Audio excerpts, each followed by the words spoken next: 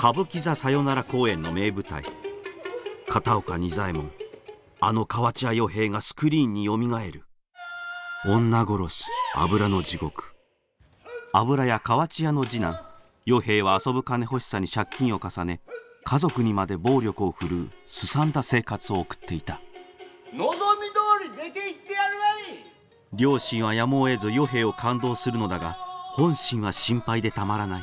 しかしその思いは与兵に届かず近松門左衛門が300年前に描いた現代に通じる人間の孤独と狂気。借金に追い詰められた与兵は正気を失い刀に手をかける。